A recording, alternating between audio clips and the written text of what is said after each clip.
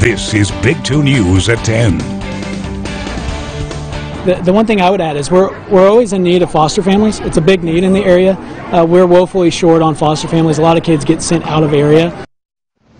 One local organization is making it its mission to raise awareness for foster children in our area. Good evening, and thanks for joining us tonight. I'm Jian Kim.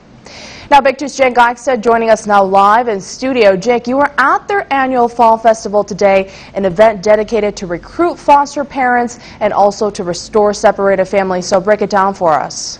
Gian, the event was catered uh, to bring all of these families and agencies together as well. The organizers say that there's a huge need to help um, these families in crisis right now given the economy, and they want to do whatever they can to keep families together.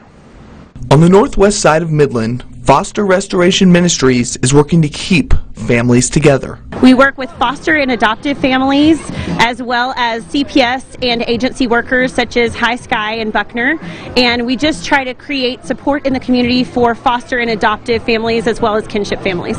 The organization hosting its annual Fall Festival, it creates a space for families to come together and offer support. Kids could participate in face painting, horse riding, a petting zoo, and other fun activities. Foster families in attendance were also fed completely free of charge.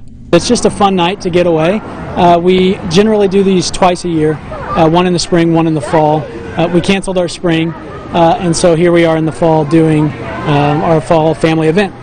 And so we just tried to have um, everyone out here to just celebrate the fall and, and have a little bit of fun in the middle of the season. But amidst all the fun, an important message. They want children to always grow up around family.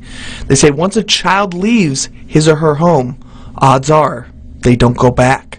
We, you know, most of the kids, you have a 90% chance, if you get removed from your home, you have a 90% chance of going outside of your own community, so outside of your county. You have a 60% chance of going uh, as far as like 100 miles away outside of our region. And so what we want to do is build up a community. The Bonnie and Tyler want to do it through Foster Restoration. At the Attic, we want to do this as well, to, to build up a community that um, comes in and supports these families, supports not only foster families, but the families that are in crisis. The idea is that kids that end up in foster care in the Permian Basin stay in the Permian Basin. They say 2020 has been a difficult year for so many families and that they are here to help everyone that they can. Information to volunteer and get involved with Fostering Restoration Ministries is on our website, yourbasin.com. Reporting in the studio, Jake Eichstead, Big 2 News.